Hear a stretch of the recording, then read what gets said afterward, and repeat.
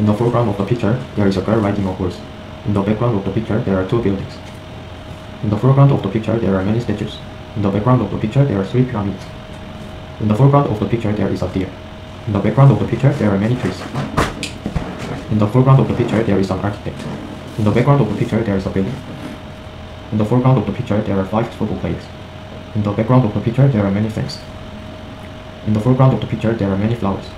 In the background of the picture, there are three windmills. In the in the foreground of the picture, there are two women and a man. In the background of the picture, there is an opera house. There there are three people against a fence.